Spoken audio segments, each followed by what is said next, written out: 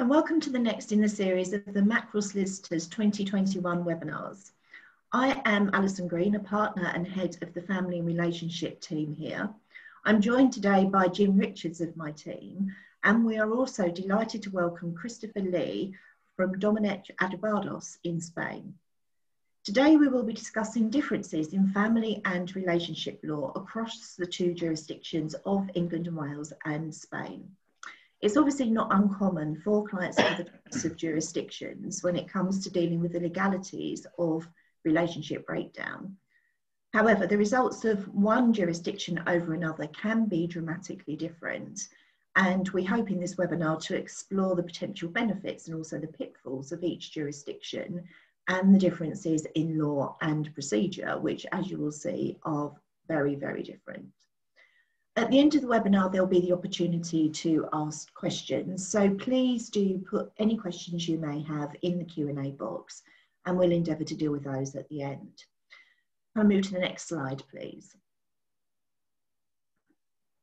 So we're going to start with child arrangements and Jim is going to talk us through how that works under English law.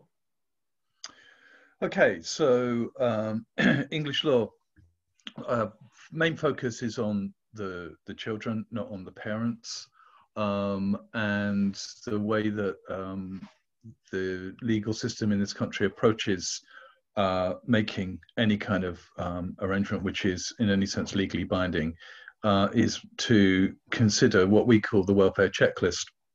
And the welfare checklist contains um, a specific list of factors which are bound to be taken into account by anyone who's involving themselves in anything which could be considered to be um, a legal arrangement. Now, to some extent, parents can do what they like. Um, they can make any kind of arrangement between uh, themselves, which is practical and which works. Um, but if you want to take that a step further and have something which is either ratified by a judge or uh, if there's a dispute between the parents one says that a certain thing should occur, whether it be a school or um, you know particular uh, issue in terms of spending time with parents, or even more fundamentally where they should live, which parent they should spend time with, then the resolution of that issue has to be uh, or is done um, with reference to the welfare checklist. And there are certain presumptions that we have in the, the checklist, which um, I think the most important for a parent to understand is that there is a presumption that that parents, both parents, should spend time with um, with children, and the the act doesn't mention the primacy of one parent over the other. It doesn't say mother or father. its base rock, its foundation is parent and parental responsibility, and those are gender neutral. So when we approach this, we're not saying that there is any kind of fixed um, standard arrangement. What we're saying is that in the circumstances, we need to consider um, what the needs of the children are essentially as judged by any particular facets they may have, whether that be um, physical, mental, or other um, um, features that a particular child, child has, their age, their understanding of the situation, their wishes and feelings, and so forth. And we see that in the context of each parent's ability to meet those needs and how those needs can be um, resolved, practically speaking. So there's no hard and fast rules. There's no in, in other jurisdictions, I know that there are certain assumptions about age and children and you know, at a certain age, a child will spend time with their father or, or their mother or whatever it may be. In English law, that's not the case. And so it's a very flexible, fluid um, system, which encourages, I think, parents to try and avoid using litigation if possible. But if they do, then the child is placed very much um, centrally. And it's not my right as a parent to see my children, it's my my children's right to benefit from seeing me, all things being equal. Um, and there are limitations on that. If one person, if one parent has a, a particular vice, shall we say, uh, or has behaved in a way which will impact directly on the children or on um, the other parent, then that can be relevant and it can be used to curtail the arrangements. So it's it's fluid. There's no hard and fast rules, which is, I think most family English family lawyers will say discretion is our you know, um, vice and our virtue of our legal system as it relates to family law. It allows bespoke, uh, bespoke arrangements, but equally, you know, there's no hard and fast rules or uh, or answers. So, against that backdrop, how do we deal with these questions? If you were to come to me, what would what would I say to you? Um, well, I'd say, well, if you want an English lawyer to deal with um, uh, an application or an issue relating to children, the children essentially have to be habitually resident in this country, generally speaking. There are some very limited exceptions to the general rule that children have to be habitually resident in this country, um, but they're very, very specific. Um, and for the most part, um, they're not relevant, but they center on whether or not there's a divorce um, pending in the in this country, and if there is, then there's a limited jurisdiction. But this is all legal stuff. Um, for the most part, what we we do is try to avoid go, going to court unless it's absolutely necessary, because going to court is a highly well in England it's very adversarial.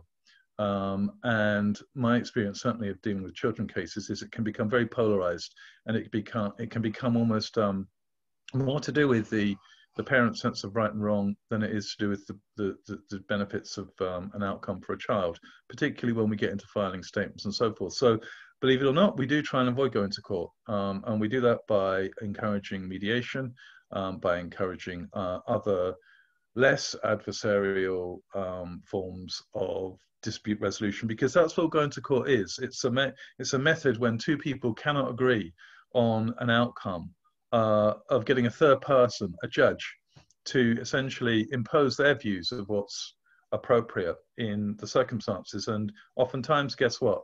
They disagree with what you may think. And so, um, going to court's not a panacea. It's it's it's uh, an option of last resort. Um, but there are most definitely cases in which it's necessary because of the circumstances and the um, the lack of um, flexibility in the approaches which two people are taking to the child arrangements. But very much I would see it as something which um, we do when other things have been tried and failed. So a flexible, um, child-centered um, system which hopefully puts the child first on a very good day. And presumably, Jim, obviously, habitual residence is key in, in the English courts. Habitual habitual residence is the absolute. Um, it's it's the starting and it's it's the you know the the starting and the finishing point in some cases because if a child isn't habitually resident in this country, the the first question that's going to be asked is well why on earth are you dealing with uh, an issue in the English courts when the child is living and has been living um, in, for example,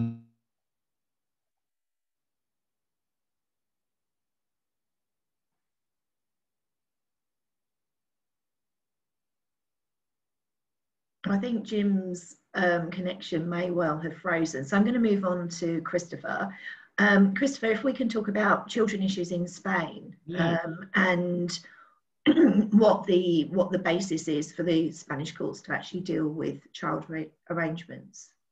Of course. I mean, before, good morning. Um, as I was kindly introduced, I'm Christopher Lee, um, and I've enjoyed working with Mackrell on a number of cases. Um, but uh, I have my own firm, and it's in Spain. And uh, just before he froze, um, Jim was saying um, about habitual residence being important. And I think for all the things we're going to talk about this morning, children is probably the issue in which there's most similarity between Spain, which in many ways is an extremely different place in which to divorce or deal with family issues, and England and Wales, or indeed the UK. Um, for example, uh, in the question of habitual residence, we too, the courts here as well, will not want to deal with questions concerning children um, unless the children are resident in this country. Uh, and therefore, we have a number of cases, and I've got some going on at the moment, where we are divorcing a couple uh, and we're dealing with the splitting of their assets and we're dealing with spousal maintenance. But the courts here are not going to deal with their children and they're not going to deal with child maintenance. And why is that? Purely because the children don't live here. Uh, in one particular case I've got at the moment, they're living in England. So uh, that adds a layer of, layer of expense. It won't be the same court in that instance being able to deal with everything. The children will be dealt in, with in England, and everything else is going to be dealt with in Spain. Um, other similarities it's the best interests of the child that are going to rule uh, on any decision about children, we hope, uh, in the Spanish court where there's dispute. And that's a similar position in England. How can the best interest of the child be determined? Well, in Spanish court proceedings, uh, if the child is 12 or over, um, then um, their view can be taken into account. It's not necessarily determinative, but they will be listened to. Uh, under 12, it's too young. They won't be. They won't, their, their views won't be canvassed. Um, so that's one thing. How do you find out what their view is? In England and Wales, I'm sure Jim will say it's CAFCASS. Um, so those are trained people who are able to talk with children on a, on a, on a, on a child-friendly and an age uh, appropriate way about, about what their wishes are. Here, we have social services uh, and we also have uh, people who are similarly child psychologists who are linked to the courts, and the courts may well uh, ask that they uh, speak to the children and then report back to the court. I've just got a coffee, that's very nice, thank you very much. Uh, then report back to the court on what the child says. But unusually, and I think this won't happen in England, and correct me if I'm wrong, Jim, but uh, uh, here the judge herself or himself will speak uh, to a child. So it's a bit like Emma Thompson in the Children Act. Um, that not uh, often, not often is the answer. Not often, but it can sometimes, be, sometimes can be done if it's in the movie. Yeah. Well, here it can be done more often than that. And the judge, uh, no wigs, of course, here, whatever the case, no wigs, and no wigs in family uh, proceedings for barristers or judges in the UK either. But um, here, no wigs at all anywhere in courts because it just doesn't happen like that. They had togas, which are the, the sort of robes which the lawyers will wear, but they won't wear them in children's proceedings. And if the judge is going to speak, speak to a child, the judge will speak to the child uh, without lawyers being present, perhaps an interpreter if that child doesn't speak Spanish. Um, and then, um, uh, uh, and, and, and, as well as perhaps the um, child psychologist linked to the court. So there may be the judge plus child psychologist speaking to the child, I mean, not at the same time. Um, there's, a, there's, a, there's a figure in Spanish litigation in relation to children in court cases, uh, whether it's agreed, whether the parties agree everything in relation to their children, or they don't agree. So there's going to be some sort of fight in the court. Um, there is a figure called the public prosecutor. In Spanish, it's fiscal. Uh, sounds a bit weird to say the public prosecutor will be involved if there is a children's case. We're not talking about delinquent children. We're talking about normal children, where they're going to live, who's going to pay the money, who are they going to see, where they're going to go to school, uh, what religion they're going to take. Uh, there is this public prosecutor figure. And that is simply because traditionally that's what happens in Spain. And every time there is a children's element to a family law case, the public prosecutor will be consulted as to their view about what the judge should order in relation to the children. The judge won't always follow the public prosecutor's uh, guidance, but very often will. Uh, and, uh, and so even if we have a totally agreed divorce involving children, that means there will be no court hearing. We can do that in Spain. The parties sign an agreement. They then uh, re-sign before the court in the court office. So it's not a court hearing if they have children, and so within that agreement, there are things about where the children live, who they will see, who is going to pay what in relation to their upkeep, what school they're going to go to, who will pay the fees if there are fees. That agreement will be looked at by the public prosecutor, and uh, and um, if we've written it, it, will be it'll be approved because we won't say anything in there that the public prosecutor wouldn't like and would object to. But as an example, in Spain, 99.9% uh, of the time, a judge will expect both parents to contribute financially to their children. So even if one of the parents, even if she's the earner and he earns nothing, uh, or he, has got some illness and it's extremely difficult for that person, that the father to earn, he will be expected to pay some sort of token amount for the child. It may be 100 euros a month, probably wouldn't be less than that. In other words, uh, the court here will always take it that, the, that, a, that a parent must make effort in some way to contribute to their child's upkeep. Um, before I close this section, uh, let me talk about child abductions. It's something we do a lot of in this office. I enjoy it very much, if one can, if that's the right verb.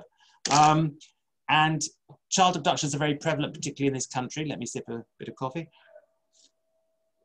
Probably because it's very sunny here. People come on holiday here. They know Spain, particularly in the south of Spain. There are a lot of expats. People can blend in. Many abductions are cases where children, well, no, not many, rarely they are, where children are taken and hidden. And so Spain is quite a good place to do that if there's loads of expats living around your area. As I say, usually towards the south of Spain, but not always. And lots of child abductions don't have any hiding element at all, and the other parent knows where they are. But in any event, child abductions in Spain are dealt with in a very different way than in England and or Scotland or Northern Ireland and they are generally dealt with uh, certainly not as adeptly by the authorities here or the courts. And the simple reason is two reasons. One is the courts are not centralized. Any child abducted into England and Wales or to Scotland or Northern Ireland, there will only be a very limited number of judges who will look at the case so they know exactly what they're doing and they don't make mistakes on the law. Here, the courts are not, as I say, centralized enough, and so often mistakes are being made unfortunately, and uh, and and and and and in terms of law, the wrong decision is being coming come to. And the second reason um, is that the central authority in relation to child abductions, all countries that have signed the 1980 Hague Convention uh, authorize the central authority to, um, to handle uh, many of those cases if they're not being dealt with on a private basis. And the central authority here is very um, uh, overworked, underfunded, and uh, inept, basically. So there's a very, very different panorama uh, in relation to children when it comes to them being taken or kept in one country uh, from their country of home against the wishes of the other parent. But that's a whole other story, and I probably shouldn't go into that now. Uh, so that's probably what I'm going to say on children. And it's back to Alison or possibly Jim straight away. I don't know. Thanks, Christopher. Can we move to the next slide, please? So I'm going to talk very briefly about the divorce procedure in England and Wales because I'm sure that most of the people watching will know how that works currently. Um, obviously, there is going to be a change at some point in the not too distant future. There's now legislation on the statute book for no fault divorce. Um, and we'll, we're just waiting to see exactly when that's going to be brought in. So I'm going to stick with the way the divorce law is currently. Um, it's governed under the Matrimonial Causes Act 1973, and a party can petition for divorce on the basis that the marriage is irretrievably broken down.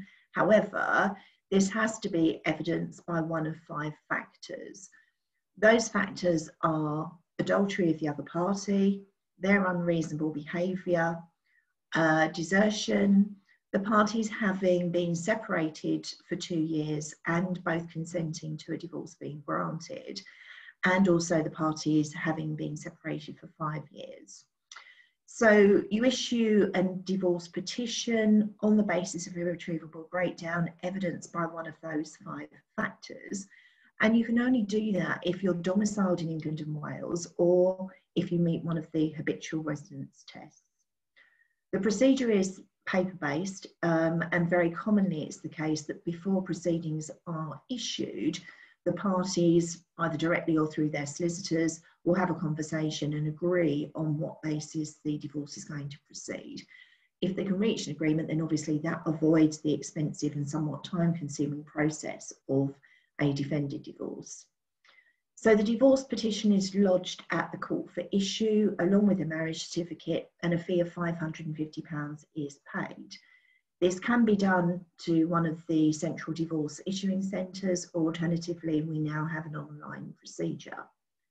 Once the proceedings are issued, the court normally sends them to the respondent by post um, on a practical note, I would suggest that if your respondent is overseas, then you look at having the papers back to you and arranging personal service because quite frequently it can be very important to prove that the respondent has been properly served.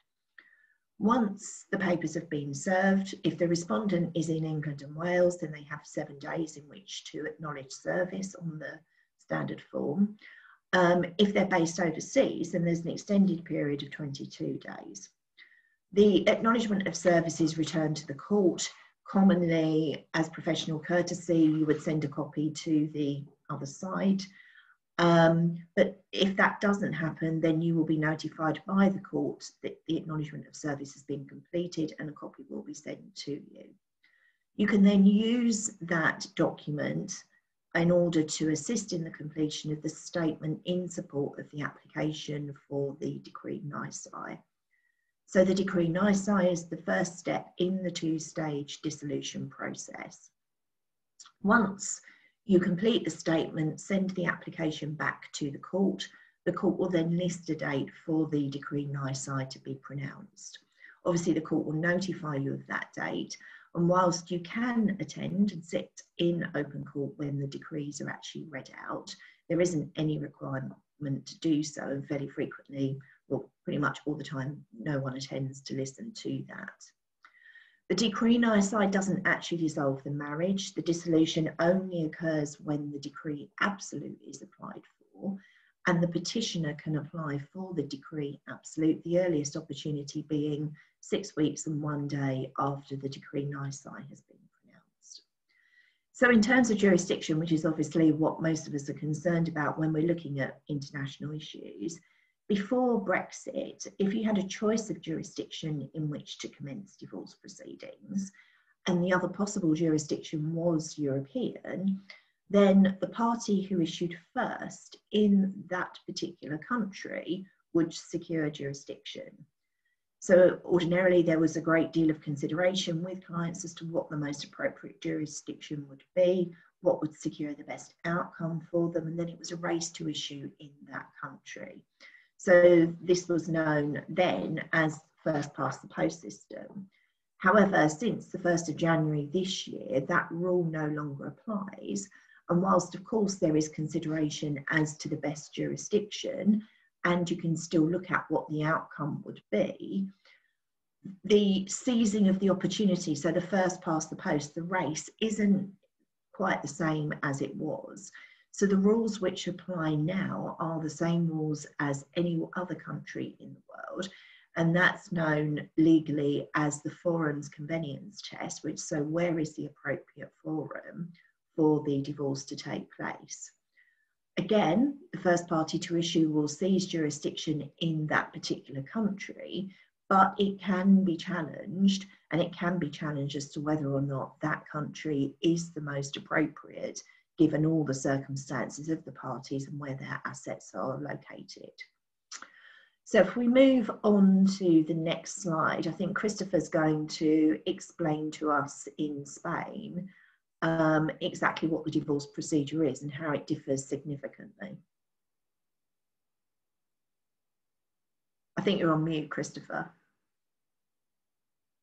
Sorry about that. Ah, right, basics. So yes, divorce procedure in Spain. Um, again, uh, or perhaps more so, there are, there are elements here that aren't so familiar as people, hopefully many people in Ishmael Henry VIII aren't very familiar with divorce in England and Wales either. But um, here, for, for example, Jim or Alison can go into court and say, Your Honour, if that's what you say in England, um, I am whoever I am and I represent whoever I represent, and that's fine. In Spain, just to get past that initial uh, issue, we can't say who we represent, we have to prove it, and we have to prove it with the power of attorney. So many of our clients are not even in Spain. Uh, if they're in Spain, this is easier to do. They can either go before a Spanish notary and sign a power for litigation purposes, which allows us to act for them.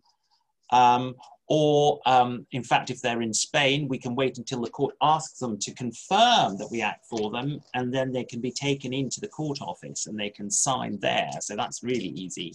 Many of our clients aren't in Spain, they could be all over the world. Imagine they're in England.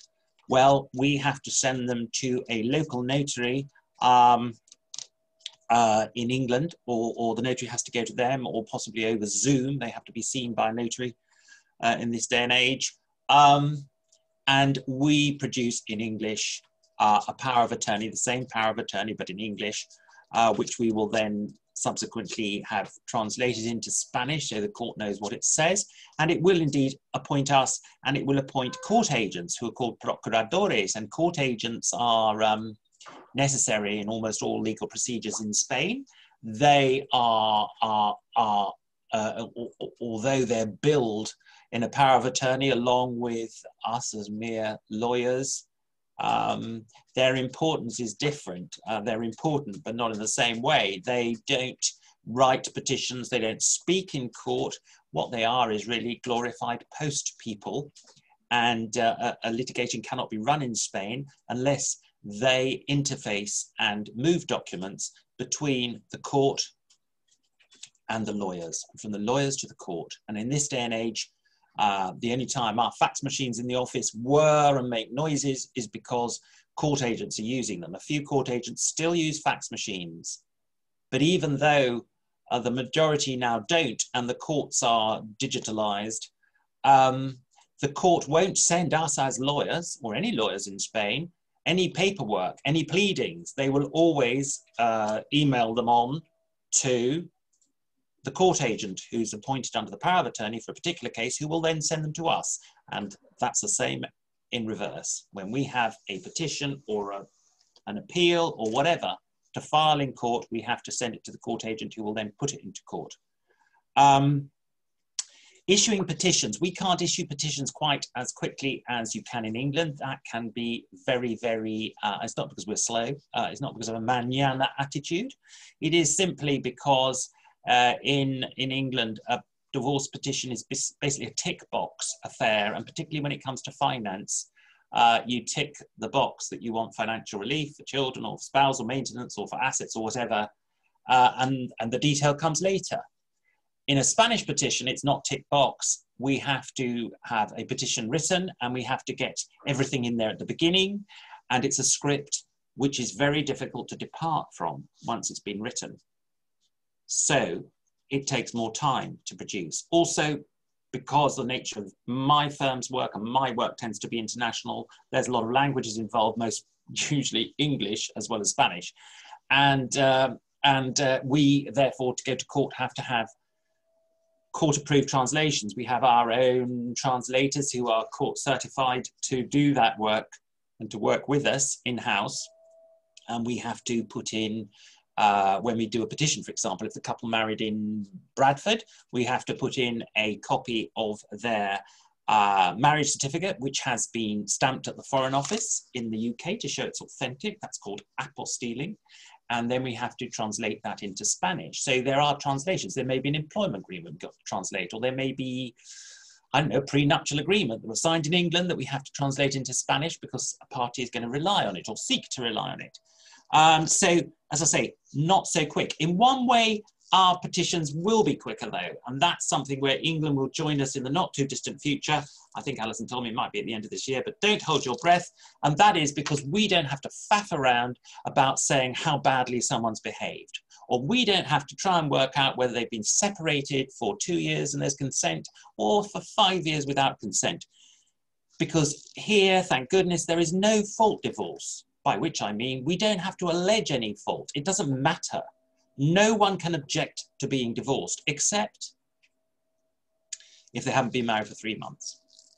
So as long as they've been married for three months, there is a right to divorce, in Spain, and we don't have to be all uh, taken up with, uh, with, with misbehavior. That's jolly good, I think.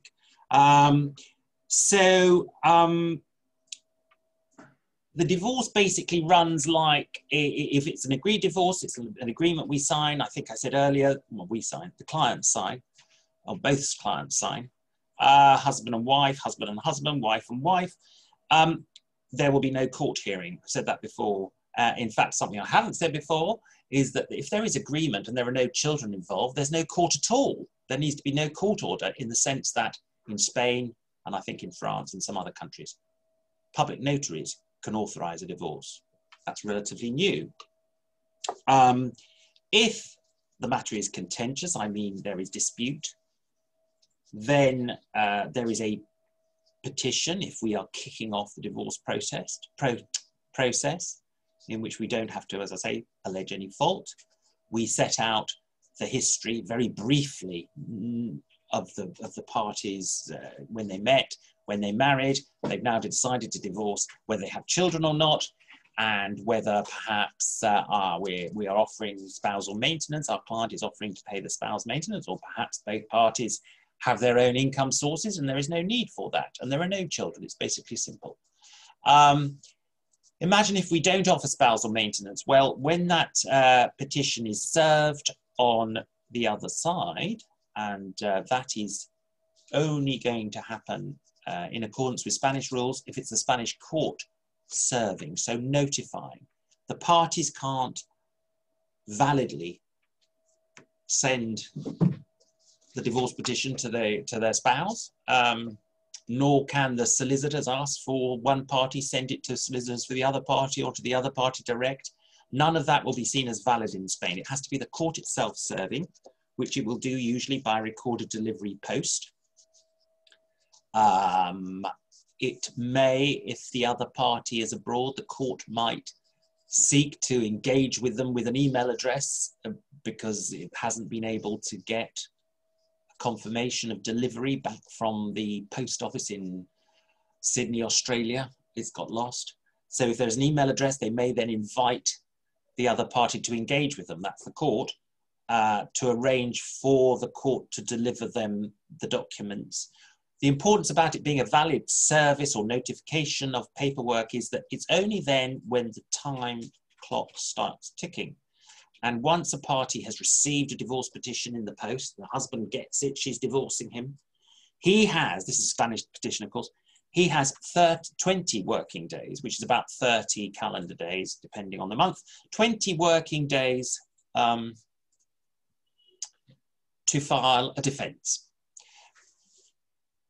Otherwise, he won't be able to file a defense. And also, importantly, to file a counterclaim. So if she is divorcing and she earns more money than he does, and he's been looking after the kids, and she doesn't offer any spousal maintenance, the way he can get that, claim it, is in a counterclaim, which he must file within 20 working days of the petition being notified to him. Um, and uh, if there is a counterclaim, then the other party has a certain number of days in which to respond in writing to that. Uh, that all being done, um, basically it moves to the court then um, specifying a hearing date. We act in courts all over Spain. They are all slow. Some of them are much, much slower than others. Some of them are surprisingly relatively speedy, uh, but still slow. Um, some of them excruciatingly slow and inadequate. Um, we can't really control that. We can monitor it, but we can't really do anything more than that. Um, so when the court hearing actually happens, even though the whole process may be excruciatingly slow, the court hearing itself will be amazingly fast in the sense that, uh, in my experience, it won't last more than three, four hours at the outside. Partly that's because the judge will be going to lunch, although it'll be a late lunch in Spain, uh, and the judge doesn't come back after lunch. There are no two or three or four or two week three or four days, two week court hearings, not in Spain. So, in a number of cases, they are complex. And when we have the possibility of perhaps Mackrell divorcing our client in England and we divorcing them in Spain, there's all sorts of dynamics about what might be better for a client, one jurisdiction or the other. Um, but in a very, very complex case, if it's very key from our client's point of view that the complexities of for finance, for example, be thoroughly looked into, then uh, Spain is not the good choice because there won't be much time devoted to doing that. There's a short attention span with Spanish judges. And they don't understand anything like trusts. Why? Not because they're silly, but because trusts don't exist in this jurisdiction. Um, so that is probably all I'm going to say for the time being, and I'm handing back, I think, to Jim or possibly to Alison or both. Thanks, Christopher. Can we move to the Next slide, please. Welcome back, Jim, as well. I know he's having some technical issues this. Um, yeah. Um, so we're going, we're going to move on to financial settlement. We're going to capture Jim's knowledge before he drops off again. So Jim, can you share with us maybe just how financial settlements are looked at under the law in England and Wales? Okay, yeah. Um, first off, I am having some difficulties, so I'll try and make this um, quick but thorough.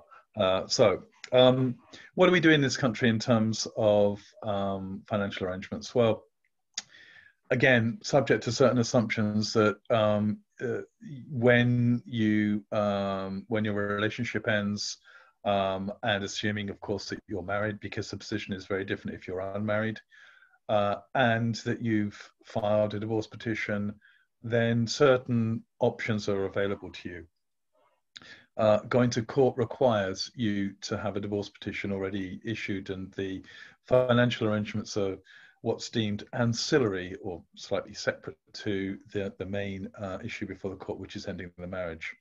So we have a discretionary redistributive system, which has as an objective um, a fair arrangement between two people in which there is no discrimination between the parties in terms of uh, what they brought to the marriage in the sense of, or what they did during the course of the marriage in the sense of um, arrangements whereby one person stays at home um, raises children perhaps gives up a career while the other uh, works uh, earns money contributes to a pension and so forth. If that uh, marriage comes to an end both are deemed to have made an equal contribution and on that basis fairness is then determined with reference to needs compensation and sharing. So the law set out in the Matrimonial Causes Act, section 25 and related sections, gives a comprehensive uh, list of criteria and powers and ranges of orders which the courts are able to make in relation to divorcing couples the I think the powers are worth the, the types of orders are worth um, considering.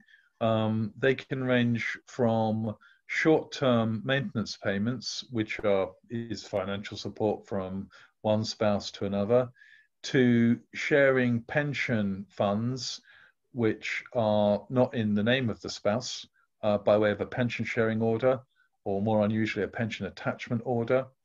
Um, transfers of property between spouses, lump sum payments, and frankly, most anything uh, in between, regardless of the um, jurisdiction in which the assets are held.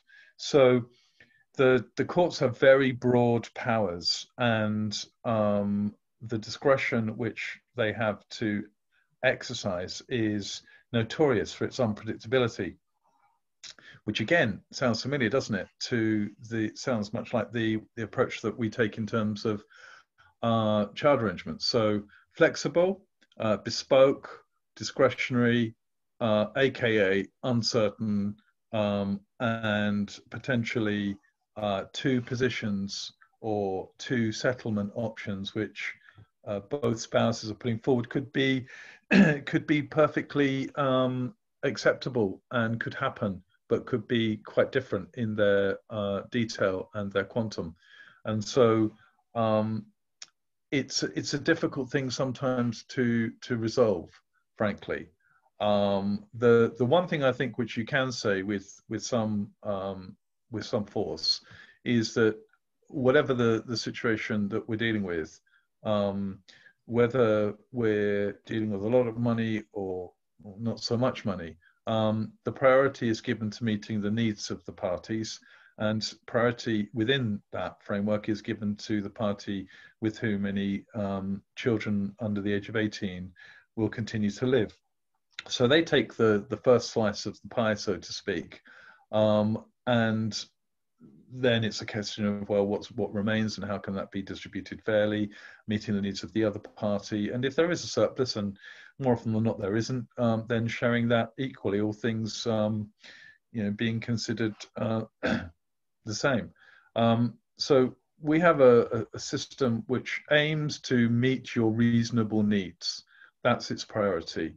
Um, and if we can't reach an agreement, um, or if two people can't reach an agreement, um, following financial disclosure, which uh, is something which can be very extensive in this country, um, then there may be uh, problems. So how do we resolve those issues?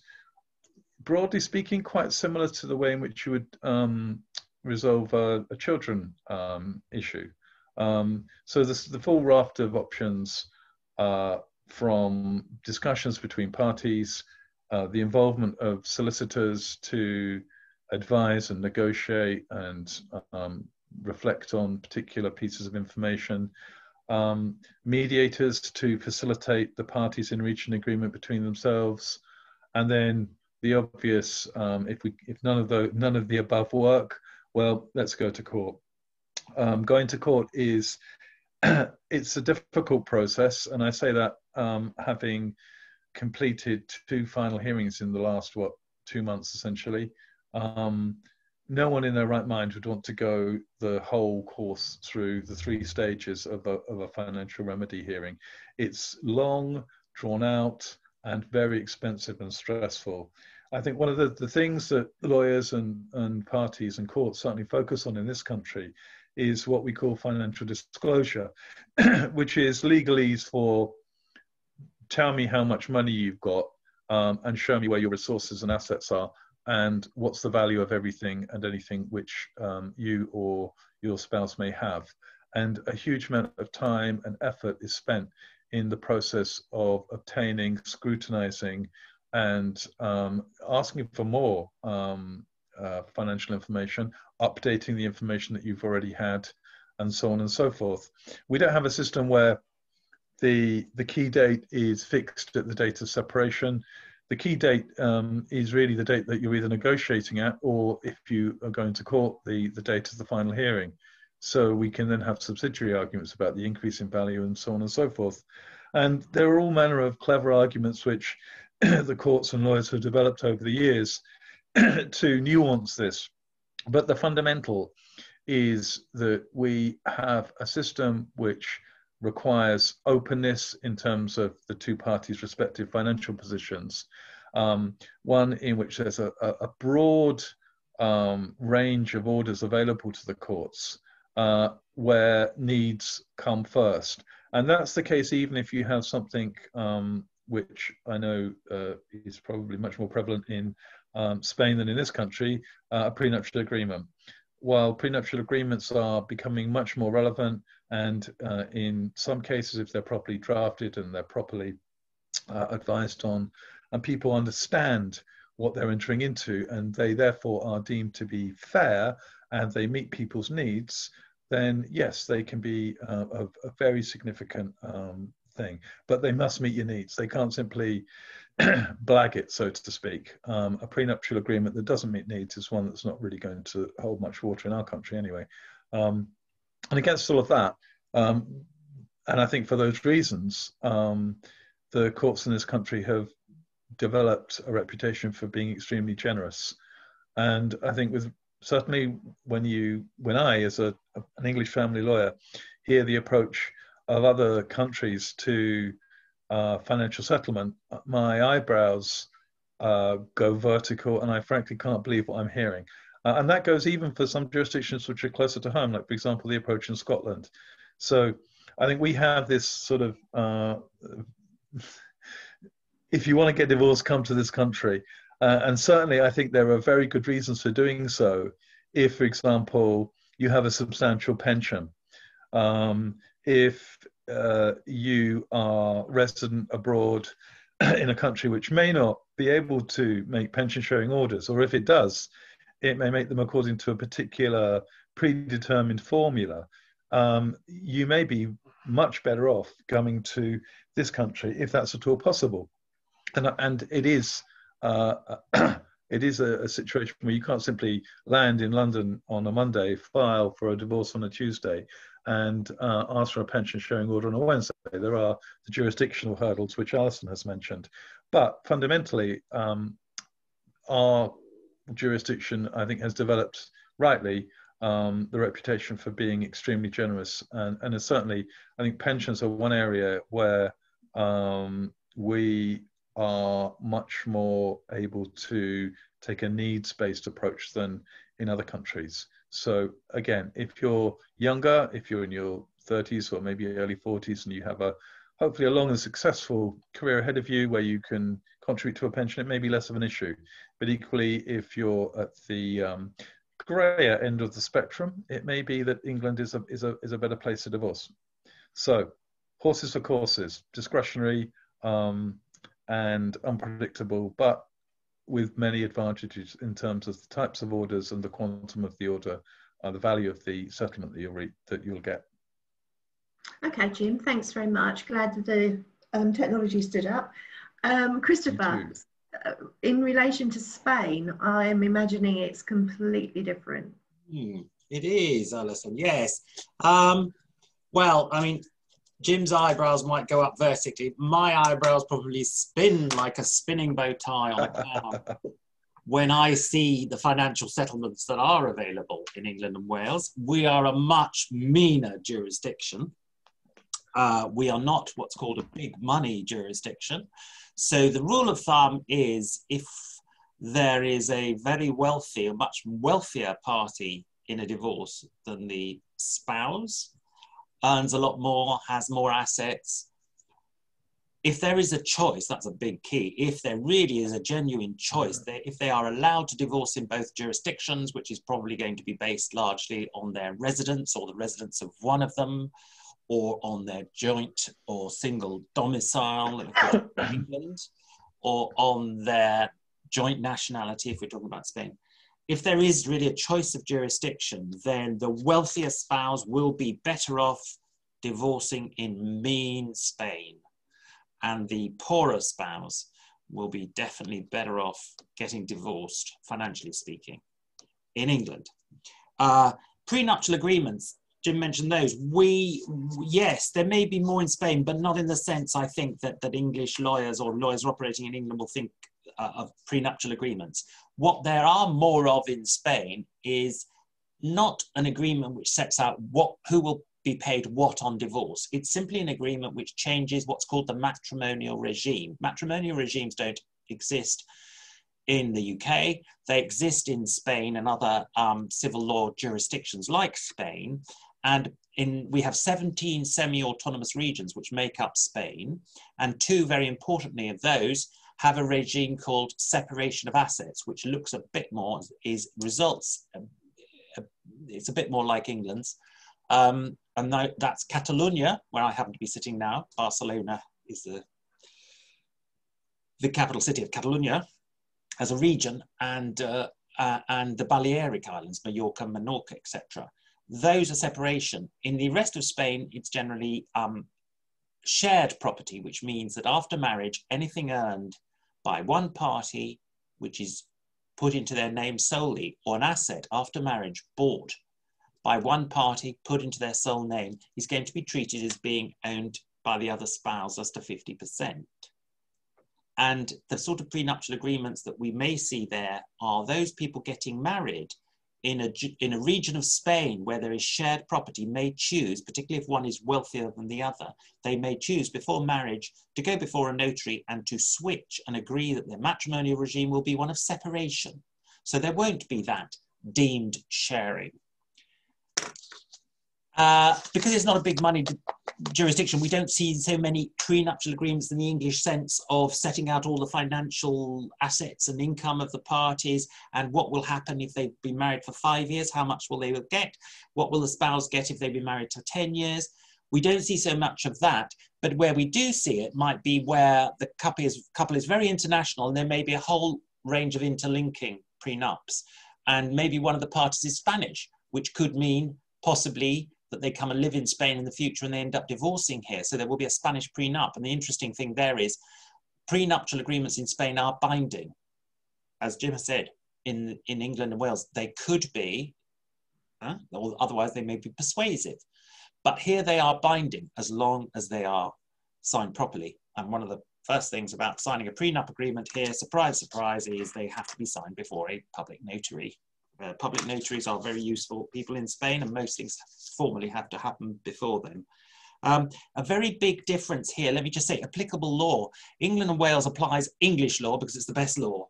Scotland applies Scottish stroke UK law as well. It's the best law uh, from their point of view. Here in Spain, we will apply other countries' laws, not if we just want to, but if we have to. Um, that won't happen in the UK, and it can produce some surprising results. So, in a number of divorces in, with international aspects, we will be applying different countries' laws, and it may be two different countries' laws, or it may be three.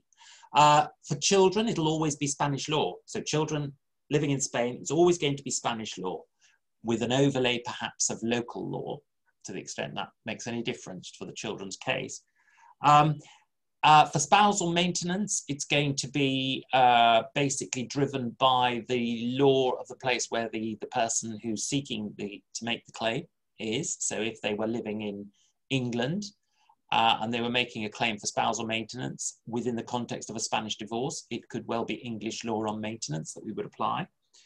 Um, the divorce itself, the dissolution of the marriage, will be linked to habitual residence. That may not be Spanish law, if both parties are Spanish and they're based in London, they can divorce in Spain because they're both Spanish nationals. But because they're both based in London, the law to apply to the dissolution of their marriage in accordance with Spanish rules will be English law, which is a bit weird because under English law, to dissolve a marriage, you must show, as we said before, reason, misbehavior, or separation. So there'll be a whole question there about whether we have to import that to Spain and ask a Spanish court, which isn't used to looking at fault in a divorce, suddenly to consider it. Asset division is the big one, could be the big one. There, if the marriage has taken place before um, February 2019, then it'll be the, the law of the joint nationality of the parties which will govern it. So if they're both uh, Northern Irish. It'll be the law of Northern Ireland when we come to splitting the assets in a Spanish court where it's disputed. If uh, they don't share a common nationality, so one is Spanish and one is Northern Irish, they don't share a common nationality, it will be the law that they've chosen in a prenuptial agreement. But if there isn't one, and very often there isn't one, you move to the next test, and it'll be the law where they lived, where they first lived after marriage. You ignore honeymoon. So if the Spanish person and uh, her Northern Irish husband uh, set up in New York to work after marriage, it'll be the law of New York that has to apply. How does a Spanish judge? I mean, goodness me, English judges only have to know about English law. Clever, clever Spanish judges have to know about New York law, Qatari law if they lived in Qatar, Australian law, all sorts of laws. That's amazing, isn't it? Well, they, the only way they know, of course, is if they're told, and they have to be told officially and appropriately. So in those cases, we have to then go to lawyers in Sydney, Australia, for example, or, or, Qatar, and get them to confirm in what's called a certificate of law what the law says there. And that's what we tell the Spanish judge they should be applying. Of course, the Spanish judge often doesn't apply foreign law as uh, roundly as a judge whose law it is. So the results might not be the same if we're applying English law on asset division as they would be if an English judge was applying them. Not least because an English judge is used to big money and big figures, and we're not. Lastly, let me just rush in and say, very big difference. Jim mentions pension sharing. Pension sharing orders don't exist in Spanish divorces, so that's a huge issue as Jim says, if you're getting towards the end of the working life when there's a divorce, and if there is a huge pension pot belonging to one of the spouses only, that is a really difficult issue if the divorce is happening in Spain, because we may not be able to get at it for the poorer spouse. We may not be able to divide it effectively. Uh, that's probably all I've got time for in case we have some questions. Yep, we absolutely do. Just before I move on to the questions, there will be a poll popping up on the screen shortly. So if anybody wants to get in touch with any of us um, confidentially, then do complete the poll um, and then we'll come back to you.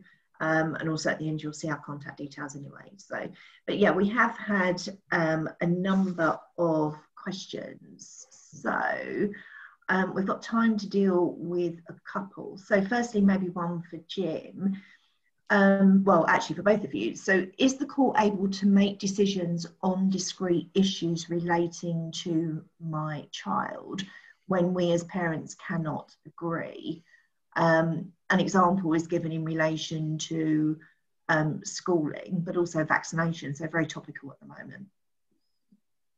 Very much.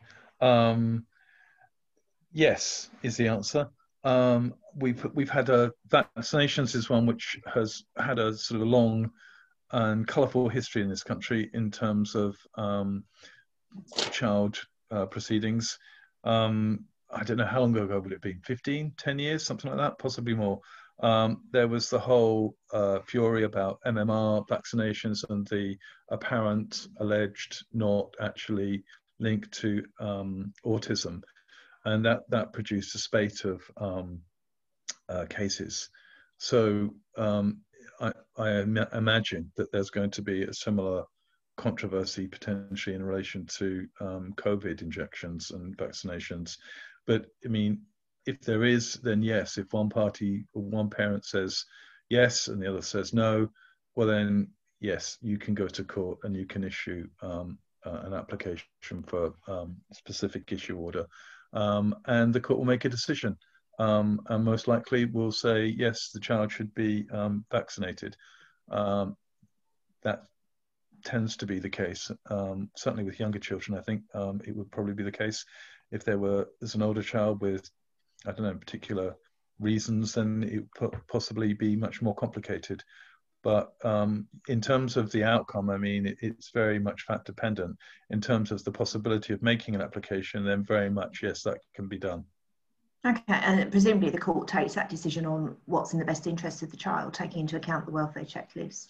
Absolutely. Well, there are very few applications in relation to children that they don't. Uh, although sometimes people think um, that they they do, uh, but yeah, it's it, it's very much. Uh, I think it's more in in a in a vaccination type context. It's very much more, um, dare I say, paternalistic um, in in approach uh, rather than uh, looking at the the nuances of the arrangements for this particular child. Um, I mean, in terms of other specific issues which we do deal with, schooling's one, um, religious upbringing's another. Uh, there's a whole raft of them. I mean, literally anything you can almost think of potentially could be the subject of an application like this. Okay. Um, and Christopher, in, in terms of Spanish law, if these sorts of issues arise, so if parents separated can't agree whether the child should be vaccinated, how does the Spanish law look at it?